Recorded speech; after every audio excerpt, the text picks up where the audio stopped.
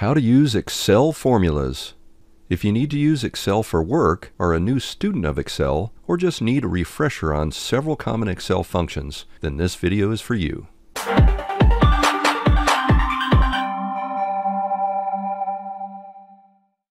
Excel is much more than just a list of values stored in a table. You can also do formulas. So let's take a look at how formulas work, starting with some basics like addition, subtraction, multiplication, and division. Remember first that all formulas start with an equal sign, so you have to type equals in any cell to begin your formula. We can do things like 2 plus 2, which is just a basic math calculation, and it gives us the result in that same cell of 4. Now you can see up here in the formula bar that the original formula is shown here and we can edit it and make changes to it if we want to and hit enter and it'll update that cell. You can do regular math like the 2 plus 2. You can also use multiplication by using an asterisk and division by using a forward slash and you can even raise this to a power by using the caret symbol. In addition to entering numbers directly into a formula, you can also use cell references. For example, let's do equals and we'll select this salary value on row 2. It fills in F2 as the cell reference and we can add that to F3 to get the total of those two values combined. Cell referencing is fantastic because even if you insert columns and rows, your cell references still stay the same and reference the original locations that you selected. And even if you were to move one of your values to a new location, it updates the cell reference to reflect the new location. This functionality makes it wonderful for modifying and growing your spreadsheets over time, but still maintaining the accuracy of your formulas. Formulas can also contain functions. For example, sum is a very common function, and you type in equal sum and a left parenthesis, followed by numbers that you want to sum together. So we can select this one, put a comma in, select this one, add the end parentheses, and hit enter, and you have now a sum of those two salary amounts. Most functions also allow you to use a range, so we can type in sum left parentheses, and instead of entering numbers separated by commas, we can select an entire section of numbers, and it puts in F2 through F7 separated by a colon, defining that range of numbers. Now that we put the in parentheses and hit enter, it shows the total of that entire column. Sum is such a common function that Microsoft has added an auto sum on the menu under the Home tab. And if you click below a column that you want to total, you can just click the auto sum and it'll fill in that sum with that range of numbers automatically. Hit enter and you have your total. Microsoft has provided many other functions to use in formulas as well. For example, if you want the average of the values in that list, use the average function.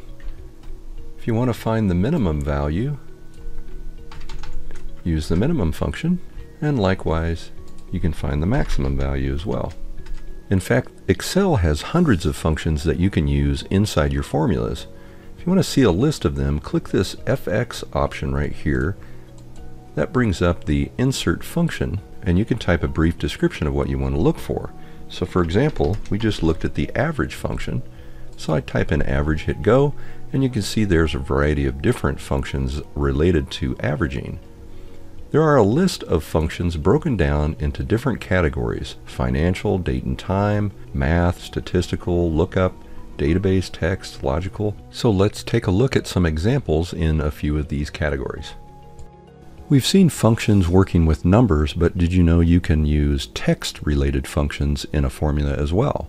For example, a common thing we may want to do is combine the first and last name from these text fields over here. So we're going to create an equal concat function where we select the first name and the last name in parenthesis and we've just combined those two together into one. Now I don't like the fact that there's a space missing in between those names so I'm going to go up here and edit that formula and we'll add a space and a comma and now we've got our space in between. Concatenate is very similar to the ampersand. I can just do equal first name, ampersand, and a space, another ampersand, and the last name. That's combined the two together with the space in between using the ampersand. It works similar to plus with numbers. Other common functions for manipulating text are lower, where I can take the lowercase of all of that text, upper, to do the uppercase. I can even do proper case, which does the uppercase of the first letter of each word and lowercase for the remainder. Let's say I want the left four characters of the full name. Well, we can do left of that, comma, four characters. We can do right, four characters. One great thing about Excel formulas is you can combine multiple functions into one formula. So for example, let's go ahead and take our John Smith that we created right here and we'll wrap around that the uppercase of all of that text and we'll edit that again and this time we're just going to take the left four characters of that. You can see how you can combine one function together with another or multiple functions in one formula to get what you want. And that's just a handful of some of the text functions, but there are many more to choose from. You use logical functions to determine if something is true or false and it will return that value. For example, if I just type in equals the age here is greater than 40 and I hit enter, it's going to tell me whether that's true or false. Let's copy this down and you can see that it's false for some and true for others depending on the age. Now I can reverse the true-false statement by putting a not function in here. So I'm going to wrap that in parentheses and now it reverses the true to false and the false to true. You can also do an OR function. So let's say we want to determine when the age is greater than 40 or for the second expression the salary is greater than 75,000. And it's going to tell me when that's true or false that one being the only one that's false. Now the most common logical function you're going to see is the if statement.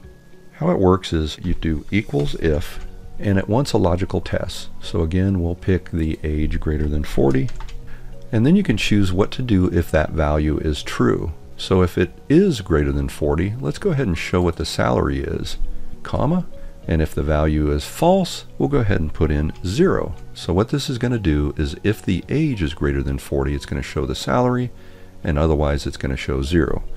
I'll hit enter. Let's copy this down.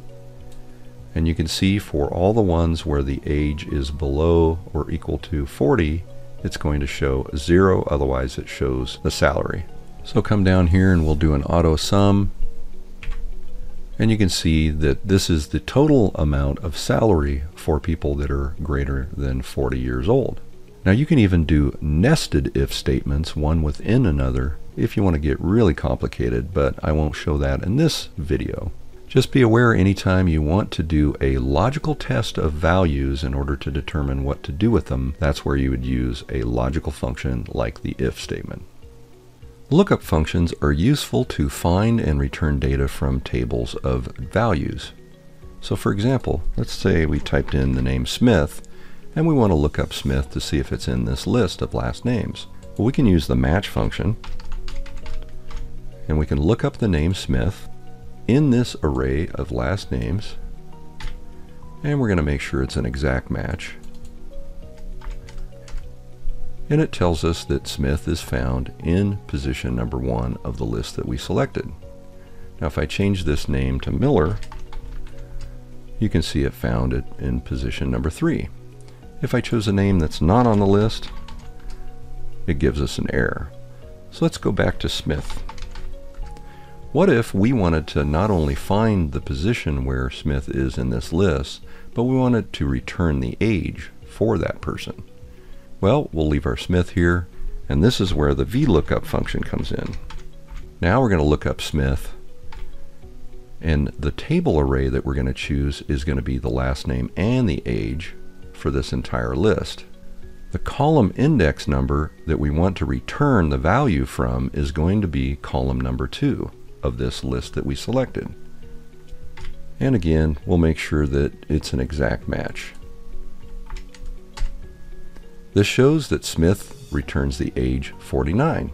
And if we change this to Miller, it looks up and determines Miller's age is 39.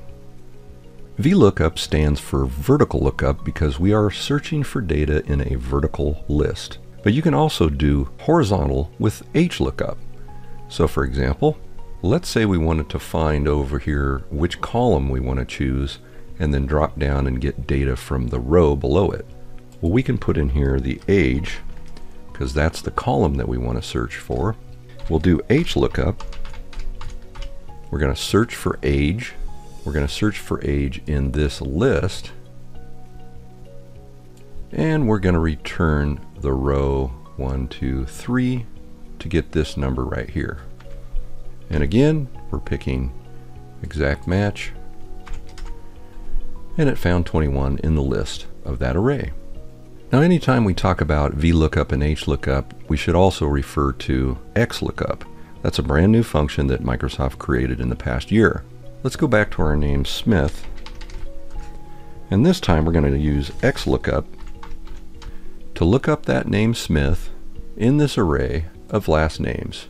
But the return array, rather than an index column number, we can actually pick whatever we want. So let's just pick this list over here of salaries. Hit enter, and it returns the salary for Smith. We change this to Miller, and it returns the salary for Miller. Now one of the benefits of XLOOKUP is it allows you to do an array of data as well. So let's edit this formula over here and we'll change the return array rather than just salary.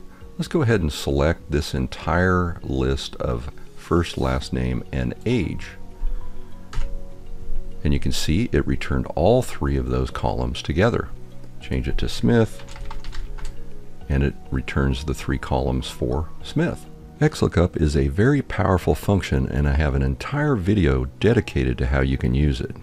Take a look at the link in the description of this video. Now this is just a sample of some of the functions that you can use inside Excel formulas. Make sure to check out my 20 essential Excel functions with downloadable reference guide if you want to look at more in detail. And if you're new to Excel, make sure to look at the Introduction to Excel video. I'll put links to both of these videos in the description below. Thanks for watching Sele Training. Hey, if you want to see more videos like this one, please subscribe. And if you've enjoyed this video, be sure to click the thumbs up and leave a comment. I really do appreciate your support.